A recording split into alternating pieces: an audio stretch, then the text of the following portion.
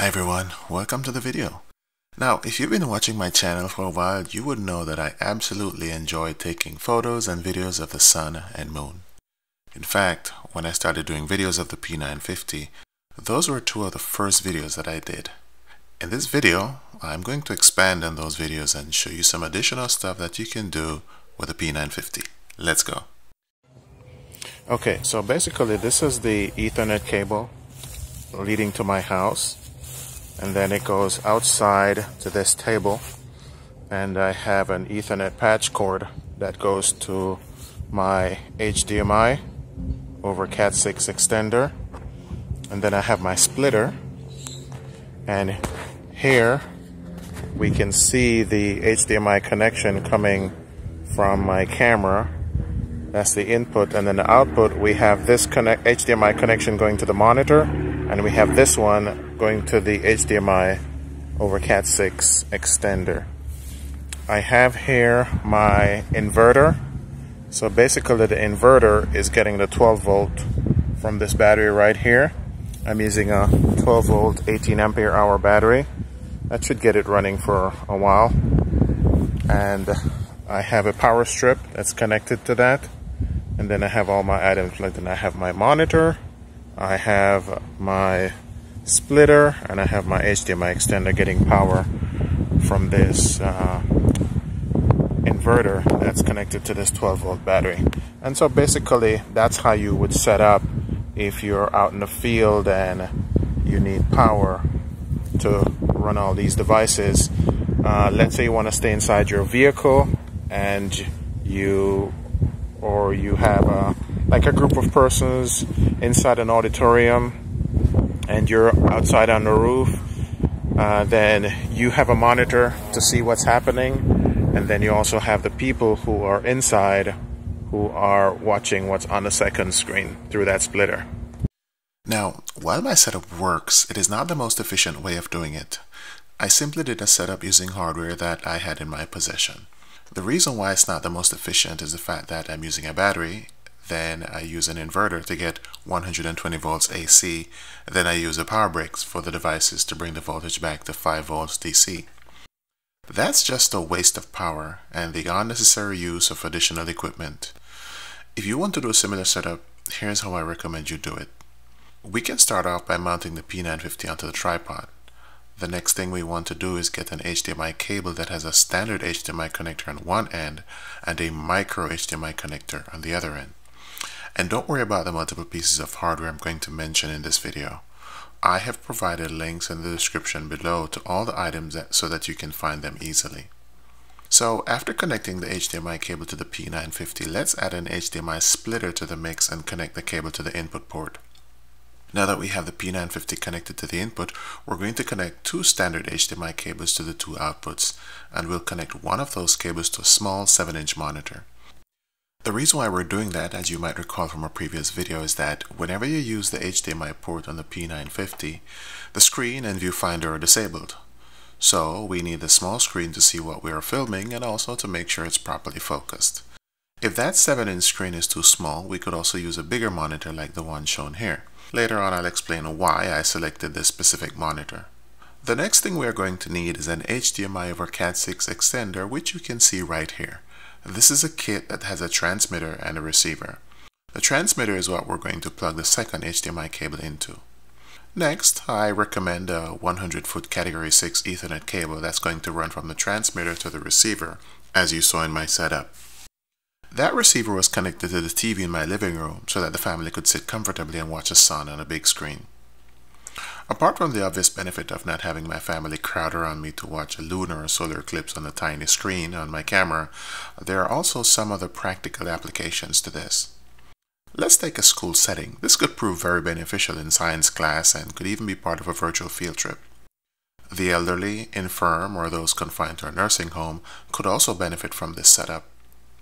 In many nursing homes and assisted living facilities, there is usually a channel dedicated to announcements and public information. Video of a solar or lunar eclipse could be fed into that channel and serve as a backdrop while announcements are scrolled across a screen. However, Not all schools might have a TV in each classroom, and some schools in large cities might not have an area where students are able to go outside and watch an eclipse. In a situation like that, we could use this setup to send the images to a big screen in an auditorium or gymnasium. For those schools that do not have a room large enough to seat the entire school population, we could take it a step further and use a combination splitter slash extender that has multiple outputs. That way we can send the image to multiple rooms. You could probably even group students according to their grade and therefore have an independent discussion in each room. Alternatively, you could have one teacher on the roof monitoring the camera and since the microphone on the P950 sends the audio it captures along with the image, one teacher could address everyone who is watching the video feed. As you can see in the graphic, instead of using a monitor, the person who is monitoring the camera could also wear a set of goggles with an HDMI input. This is very practical because a bright sunlight could make the viewing of a monitor very difficult when outdoors. So now that we have looked at how to wire all the devices together, let's now look at getting power to all the devices. We'll start off with a 12 volt battery and personally I like to use this 12 volt 18 ampere hour battery. It has the right amount of power to last a long time and it's not too heavy. Next, we're going to need a NOCO terminal harness with a female socket on the other end. Using the screws that come with the battery, we can now secure the harness to the battery's terminals, making sure that the colors match up. Shorting a battery's terminals by accident can be very dangerous, especially when working with these high capacity batteries. What I do is cut a piece of soft plastic and then place it over the battery's terminals, after which I use electrical tape to secure the plastic in place. You will also notice that the terminal harness has a fuse box on the cable. If the connectors or equipment should accidentally short, the fuse would then blow and open the circuit, thus preventing an electrical fire. At any rate, the design of the connectors makes it virtually impossible for them to short, which is why I like to use this brand to make my battery connections.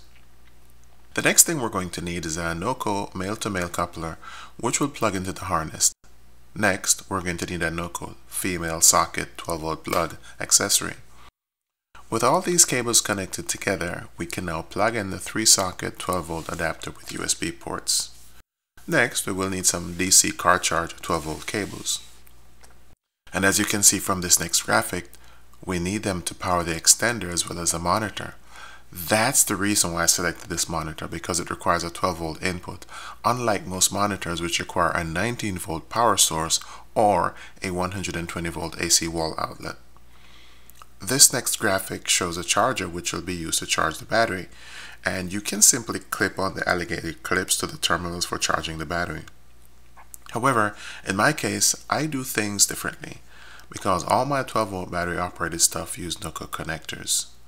So instead of having to remove the plastic protector each time I need to charge the battery, I simply acquired a NOCO extension cable, cut off the female socket, and then wired it permanently to the charger. So for charging, instead of having to remove the plastic protector from the battery's terminals, I just plug the charger directly in using the NOCO connector. Bear in mind though that this is a trickle charger and it doesn't charge very fast. If you need a faster charger, it's going to cost you. I place links for faster NOCO charging in the description below. So now that we have everything laid out, let's talk about something else that's very important. If you're going to be out in the sun for an extended period capturing a solar eclipse, the camera is bound to overheat, especially if you're here in Florida where it can get very hot and humid, even in spring. To fix that problem, I decided to improvise by using a styrofoam project board. I measured the diameter of the camera and cut off a piece of styrofoam that would be just big enough to block the sunlight from hitting the camera's body. Next, I measured the diameter of the lens housing and cut a hole that was just big enough for me to get the housing through the styrofoam. In this case, it's better to cut it slightly smaller and then carefully cut away any excess that prevents the lens housing from going through. I removed a little bit each time and then tested it constantly until I finally got the perfect fit. So with my sun shield in place, I'm ready to film the sun. If you didn't watch my earlier video about filming the sun, here's something you need to bear in mind. Do not point your camera at the sun unless you have mounted a solar filter onto the lens. Otherwise, your camera's sensor will get damaged permanently.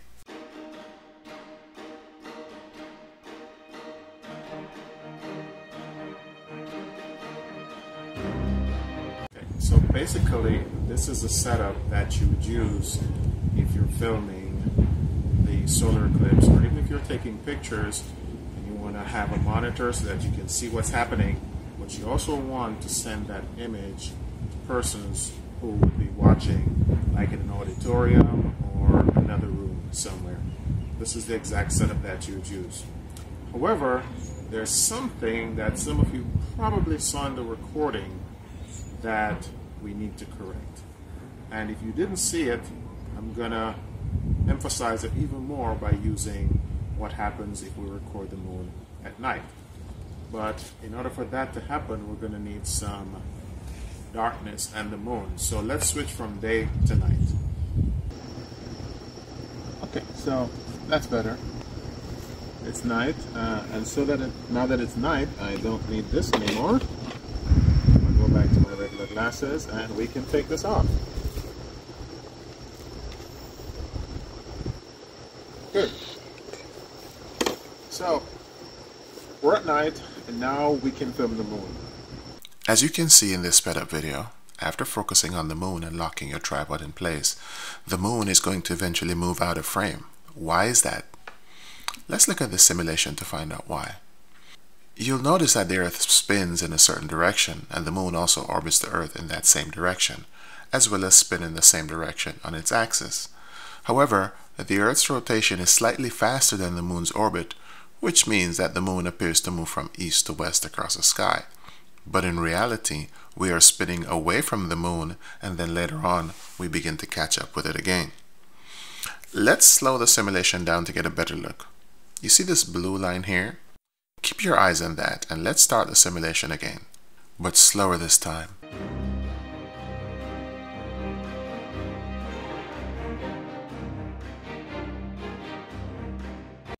As you can see from the simulation, any given point on the Earth's surface will rotate away from the Moon and then catch up again. But you will also notice that the Moon's rotation and orbit are such that the same side of the Moon always faces the Earth. The rotation of planet Earth means that you will have to constantly move your camera to keep the Moon or the Sun in frame, and that is not humanly possible, especially at high zoom levels. To fix that problem, we need some help. After reading several Amazon reviews and watching multiple YouTube videos, I have come to the conclusion that the best device to help solve that problem is a Skywatcher Star Adventurer. The Star Adventurer comes in three flavors. If your only camera is a P950 or similar, then the Astro Pack is perfect for you. However, if you plan to use a DSLR camera with long-range lens or a telescope, then you will need the additional accessories in the Pro Pack. I've provided links for both in the description below. Since I don't own the Skywatcher yet, I'm not going to try and explain how to use it. Rather, I've provided a link to a very easy to follow video from another YouTuber who has used it. Within the next 12 months, there will be three opportunities to film or take pictures of a solar eclipse. The first of the three will start over the Indian Ocean on the 20th of April 2023, as shown in the graphic on screen, and end over the West Central Pacific Ocean. Only a small portion of Australia and a few islands in Indonesia will be in the zone of totality the area that will experience complete darkness. The second solar eclipse will occur on October 14, 2023, and will start over the U.S. state of Oregon before traveling down to Texas, Central America, Colombia, and then cut across Brazil before ending just off Brazil's coast in the Atlantic Ocean. On April 8, 2024, a solar eclipse will start in the South Pacific Ocean, cut across Mexico and Texas, and then traverse the United States in a diagonal path before entering Canada via Maine. It will eventually end in the North Atlantic, about 450 miles southwest of Ireland's southern tip. I don't think I will make it to Indonesia or Australia, but stay tuned to my channel to see where I'll be viewing it from when it occurs over the United States.